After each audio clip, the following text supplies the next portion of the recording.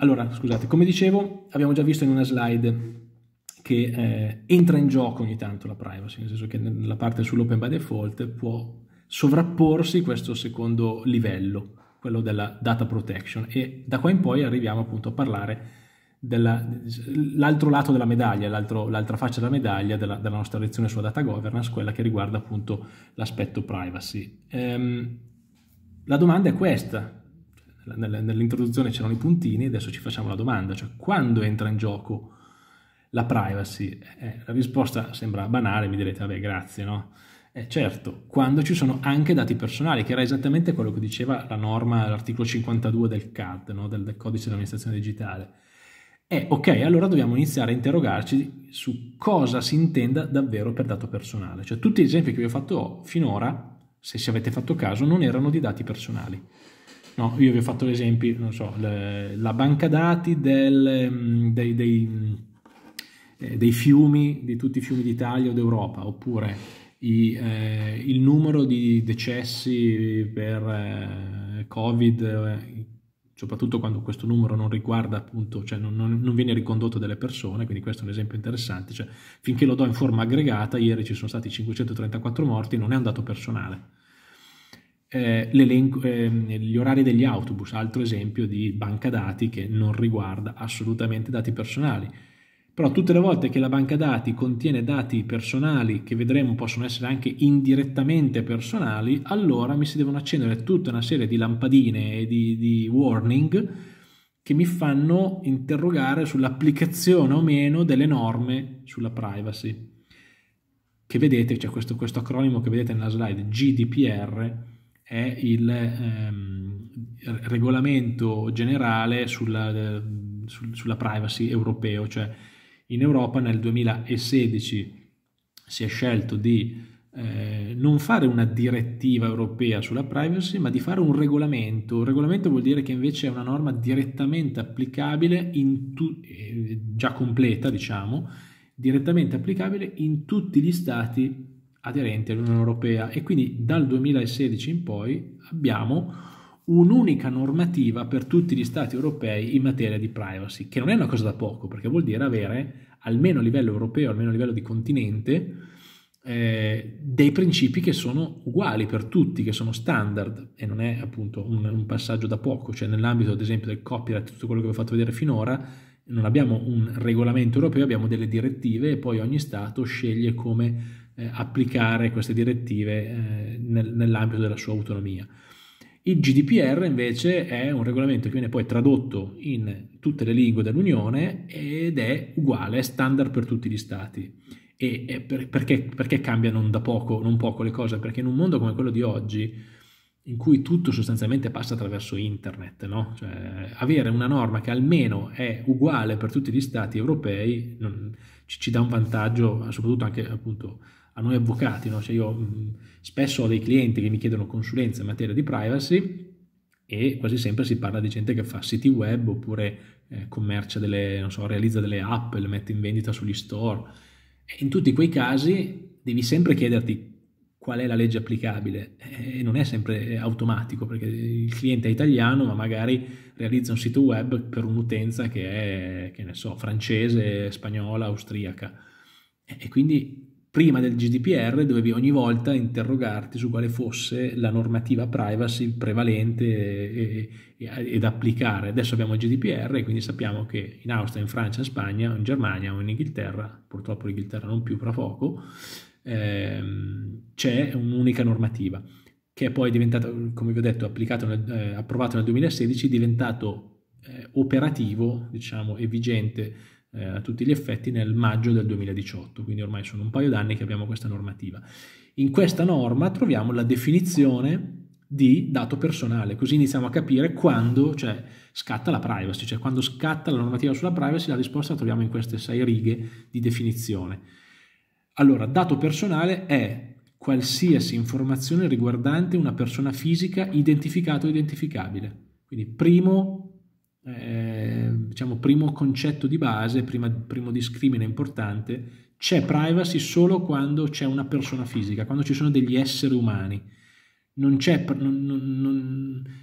la, la, società SRL, non so, eh, ristorazione SRL non ha privacy, cioè i dati relativi alla partita IVA di una, di una SRL o i dati relativi al bilancio o alle agevolazioni fiscali che ha ottenuto una SRL non sono soggetti a privacy. Ok? Quindi non c'è privacy su dei dati che appartengono a delle eh, persone giuridiche, ma a persone fisiche. Attenzione, non mi cadete nell'equivoco che riguardi le partite IVA, perché anche un soggetto, eh, anche una persona fisica può avere una partita IVA. Cioè io sono un avvocato, ho una partita IVA, ma sono, rimango una persona fisica, quindi comunque il mio indirizzo email, anche se corrisponde ad un avvocato, ad un soggetto che ha una partita IVA, è comunque coperto da privacy. Ok? È comunque un dato personale perché è riconducibile a, a una persona fisica, ad un essere umano e non a un'azienda. Quindi mi raccomando, cioè, già questo è un importante discrimine. Capire se nei dati che sto trattando ci sono o meno dati che sono, vedete, riconducibili ad una persona fisica. Identificato e identificabile. Quell'identificabile crea una serie di problemi non da poco insieme all'altra parolina magica che vedremo dopo, cioè indirettamente. E infatti indirettamente l'ho messo in rosso. Eh, perché? Perché indirettamente eh, fa sì, cioè, cioè, apre tutta una serie di, di, di thriller, di, di dubbi, di di, di, questioni interpretative su quando una persona è anche indirettamente identificabile. Vedete, dice dopo il punto e virgola si dice che si considera identificabile la persona fisica che può essere identificata direttamente o indirettamente con particolare riferimento ad esempio ad un identificativo come il nome, il numero di identificazione, dati relativi all'ubicazione, un, identificativo online o a uno o più elementi caratteristici della sua identità fisica, fisiologica, genetica, psichica, economica, culturale o sociale.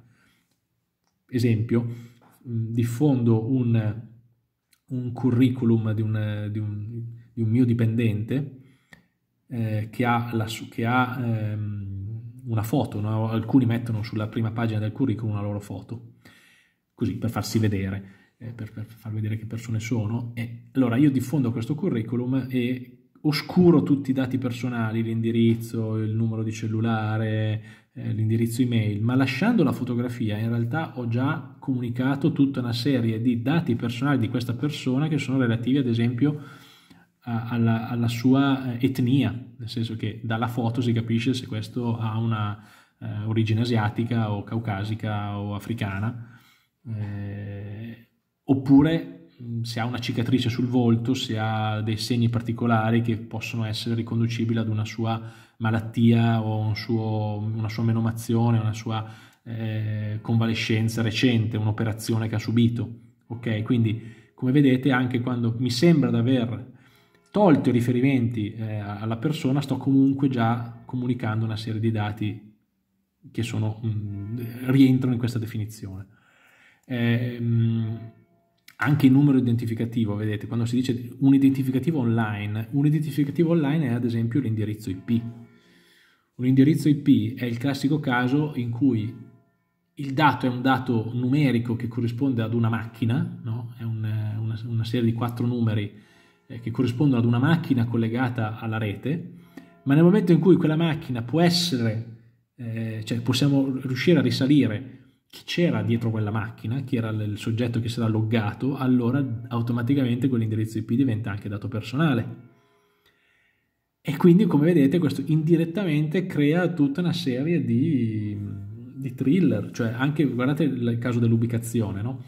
eh, io ho seguito un cliente che mh, si occupava di, vabbè, io seguo alcuni progetti importanti che, relativi ai dati geografici e ai dati meteorologici eh, alcuni ehm, dati meteorologici venivano da questo mio cliente raccolti attraverso delle centraline, cioè dei, sono degli aggeggi super tecnologici che tu puoi mettere un, sul tetto, sul balcone di casa tua e loro raccolgono una serie di dati, ehm, di, di, dati relativi atmosferici, non so quanto l'umidità, la pioggia, la temperatura, la luce solare e via dicendo, no? E quelli poi vengono raccolti in una banca dati e rielaborati per, eh, per dare delle, delle, modellazioni meteorologiche. Eh, voi direte, beh, ma che, che, che, dato personale c'è? Cioè il fatto che oggi ci siano 12 gradi o 18, che ci sia un tasso di umidità così...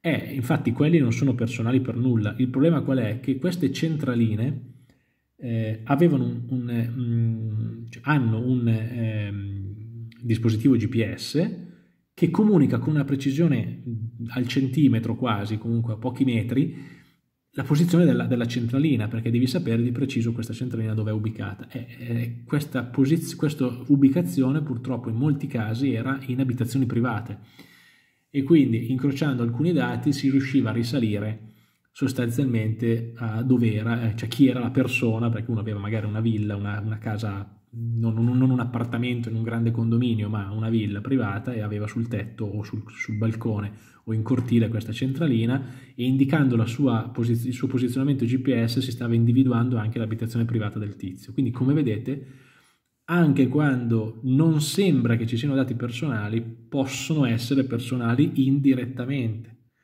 E quindi in quel caso devo aggiungere delle cautele maggiori per cercare di scollegare il dato dall'ubicazione dalla, o, o dalla, renderlo non riconducibile alla persona. Ce ne sono tanti altri, adesso non vi posso, cioè potremmo stare qua a fare una lezione di, di due ore su questo concetto dell'indirettamente. Um, un dibattito che era emerso ad esempio sulle famiglie che avevano ottenuto un'agevolazione fiscale, un'agevolazione da parte del comune per non pagare la mensa dei bambini, no? Eh, lì sono situazioni molto delicate perché da un lato hai l'interesse degli altri cittadini a sapere se questi hanno fatto i furbi o meno, se, se sono davvero delle persone in una situazione di bisogno o se sono dei furbi, dall'altro hai il diritto, di, cioè hai la tutela del, del, dell'identità del bambino che è un soggetto che è incolpevole anche se, anche se il papà ha fatto il furbo ha voluto ottenere un'agevolazione che non doveva ottenere, quindi il comune, che è colui che poi mette fuori il dato, deve mettersi nei panni, cioè deve cercare di trovare il corretto equilibrio per non violare la, la privacy del bambino, allo stesso tempo garantire la trasparenza del, del, del, del, dato pubblico che deve essere esposto. Quindi situazioni molto molto delicate. Voi, ripeto, a questo, diciamo, per quello che interessa a voi nell'economia di questa lezione non dovete arrivare a questo livello di dettaglio, però quando farete questo tipo di attività soprattutto se fate attività di marketing, perché il marketing pone una serie di cautele maggiori, perché state utilizzando i dati delle persone per vendergli della roba, ok? Quindi c'è profilazione, c'è tutta una serie di cautele che il GDPR richiede, e lì vi dovrete affidare a qualcuno che ne sa, che ne sa di privacy, che conosce questi aspetti, se lavorate in grandi aziende c'è anche un, ci sono degli uffici appositi, c'è un, un DPO che è appunto un soggetto anche esterno che, che controlla e presidia l'aspetto della privacy diciamo, nell'economia della nostra lezione è sufficiente avere chiara questa definizione. Anche la definizione di trattamento di dato personale è estremamente ampia. No? Cioè, se adesso vediamo... Ehm... Ah, scusate, qua mi è partito un titolo sbagliato.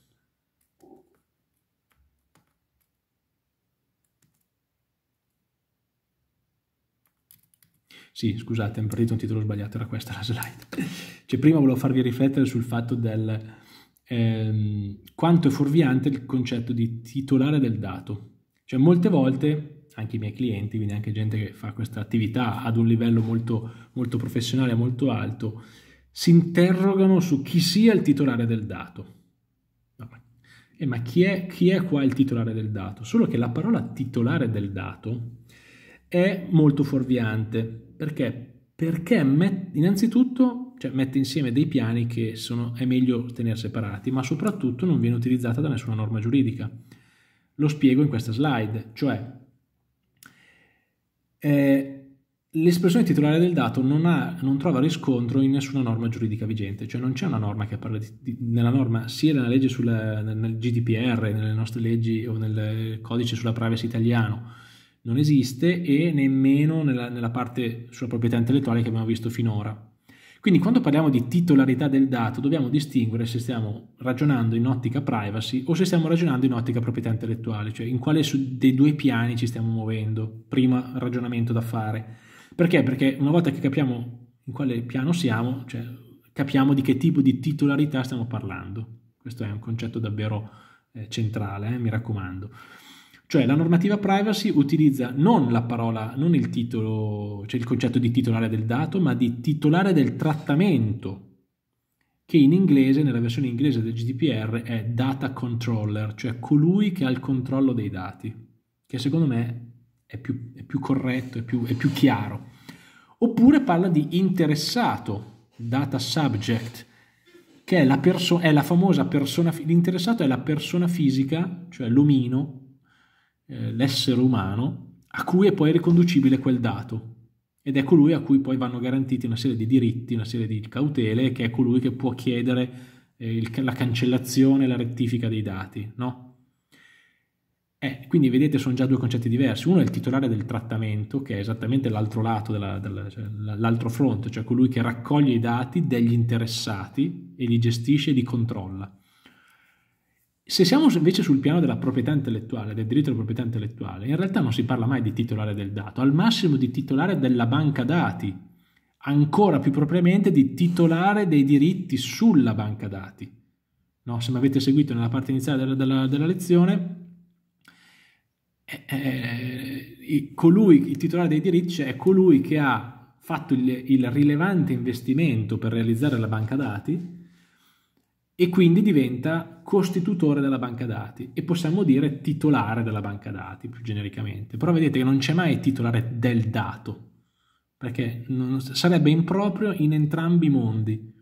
Mondo privacy, lato privacy è improprio perché titolare è il titolare del trattamento, Lato proprietà intellettuale è titolare dei diritti sulla banca, cioè titolare della cosiddetta proprietà intellettuale, non del dato in sé. Ok?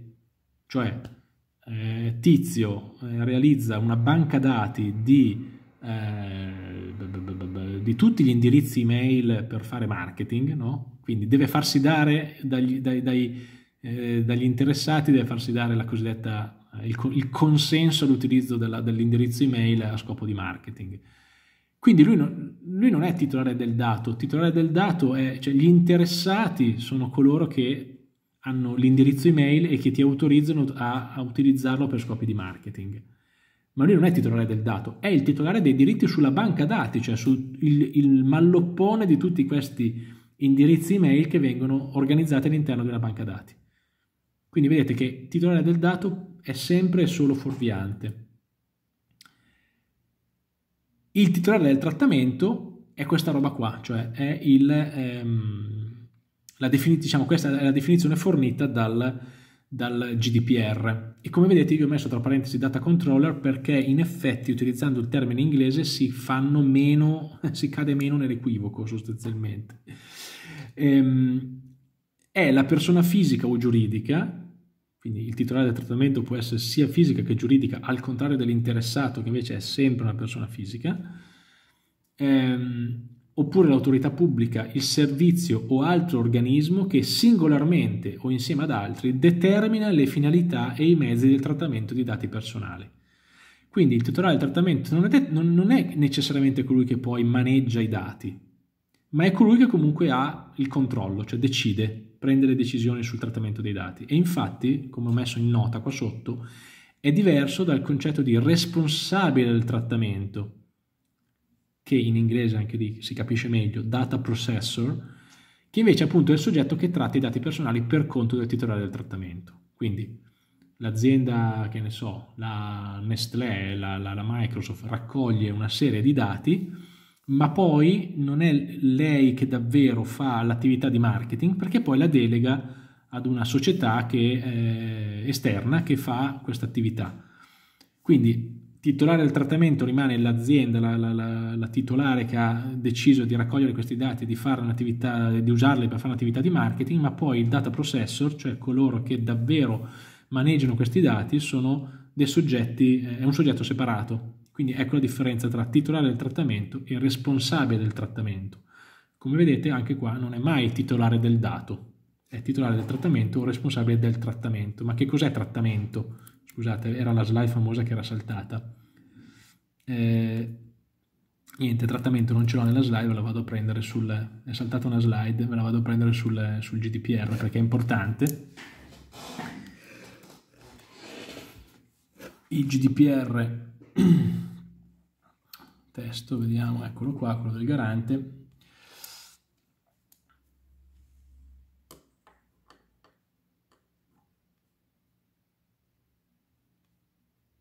Arricchito con i riferimenti. Eh, che giro lungo mi fai fare? Eccolo qua. Così intanto lo vedete, questo vedete, regolamento UE 2016-679 del Parlamento europeo. Eh, lo trovate sul, sul, sito del garante. Questo contiene una, è veramente molto lungo perché sono tutti considerando, cioè tutte le, le, le rilevazioni fatte dal, dal legislatore europeo per arrivare a quelle norme e poi iniziano le norme che sono qua. Le definizioni che, che vi ho proiettato, che vi ho messo nelle slide, sono contenute nell'articolo 4, che è un articolo fondamentale, cioè eh, è l'articolo che fornendo definizioni ci fa, diciamo, eh, da, da, da, da, punto di partenza, no? Vedete, la definizione di dato personale è questa che vi ho già messo nella slide, quella di trattamento, la leggiamo insieme qua, zoom ancora un bel po', così la vediamo tutta no, ho zoomato troppo, eccola qua. Trattamento è qualsiasi operazione o, sistema, o insieme di operazioni compiute con o senza l'ausilio di processi automatizzati e applicate a dati personali o insiemi di dati personali come la raccolta, la registrazione, l'organizzazione, la strutturazione, la conservazione, l'adattamento o la modifica, l'estrazione, la consultazione, l'uso, la comunicazione mediante trasmissione, diffusione o qualsiasi altra forma di messa a disposizione, il raffronto o l'interconnessione, la limitazione, la cancellazione la distruzione. Cioè, vedete, cioè praticamente tutto ciò che voi fate con i dati personali rientra nel concetto di trattamento. Ok? Cioè non, non, è che ci sia molto da, eh, da, chiedersi, da interrogarsi se o meno quello che sto facendo con i dati personali rientri nel concetto di trattamento, perché come vedete è talmente ampia la, la definizione che più o meno quando io ho a che fare con dati personali quasi sempre rientro nel, nel, nel, caso del trattamento dato personale. Al massimo mi posso interrogare se io sia un titolare del trattamento o un responsabile del trattamento. Ok, quindi nell'attività che andrete a fare voi di marketing potrebbe essere, potreste essere dall'altra uno di, due, di queste due figure, o il titolare del trattamento o il responsabile del trattamento. Interessante per voi che fate marketing è la definizione di profilazione, perché? Perché l'attività di profilazione, che è quello che viene fatta da coloro che, che gestiscono i cosiddetti big data, è proprio quello di raccogliere tutta una serie di dati sul comportamento degli utenti per poi riuscire in qualche modo a clusterizzarli, a, a, a prevedere loro, i loro comportamenti anche futuri. E quella è un'attività che crea una serie di responsabilità maggiori per colui che tratta il dato e che quindi richiede una serie di cautele, ripeto, non, non possiamo farlo in questa, in questa sede, troppo eh, non abbiamo il tempo necessario, però ecco, nell'attività di, di, di, digital marketing ci rientra in pieno, dovete capire che cos'è, vedete, qualsiasi forma di trattamento automatizzato di dati personali consistente nell'utilizzo di, dati, di, tali, di tali dati personali per valutare determinati aspetti personali relativi a una persona fisica, in particolare per analizzare o prevedere aspetti riguardanti il rendimento professionale, la situazione economica, la salute, le preferenze personali, gli interessi, l'affidabilità, il comportamento, l'ubicazione o gli spostamenti di detta persona fisica. Cioè tutte queste attività, che sono poi proprio quelle che eh, entrano in gioco nel cosiddetto mondo dei big data, eh, vengono considerate dalla, dall'attuale legge, dall'attuale regolamento in materia di, di, di data protection come attività di profilazione e quindi fanno scattare una serie di obblighi e di cautele maggiori nei confronti del, del, a carico diciamo, del titolare del trattamento e del responsabile del trattamento.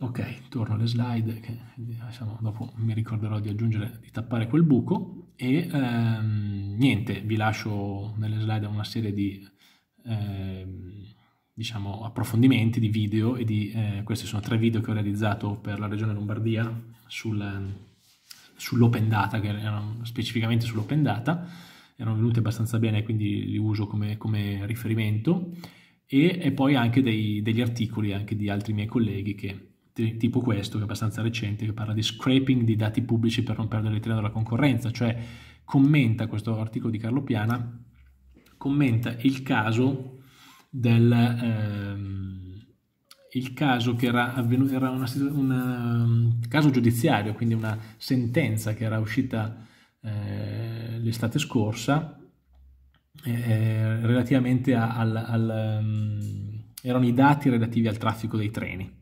Quindi aveva visto da una parte una eh, società, una startup che ha realizzato un, un'applicazione che monitorava, che permetteva agli utenti di monitorare il traffico dei treni, i ritardi, le inefficienze e via dicendo. E dall'altro lato, indovinate chi c'era a fare causa? C'era Trenitalia che sosteneva che era, violato, era stata violata suo, la sua proprietà intellettuale sulla, sulla banca dati. C'era stato fatto, cioè questa applicazione faceva uno scraping automatizzato dai, dai, dai server del, del, sito di Trenitalia per poi fornire agli utenti una serie, incrociava questi dati forniva una serie di, di, di, di informazioni ad esempio sulla previsione di ritardi o meno o di, problemi, di coincidenze su, sui treni. No? E se leggete l'articolo di Carlo spiega un po' la questione, commenta la sentenza, che è una sentenza abbastanza interessante, importante. Ehm, nient'altro, queste slide sono a loro volta, come vedete, sotto licenza Creative Commons, quindi le potete, vuol dire che possono essere utilizzate liberamente nel rispetto di quello che, che chiede la licenza.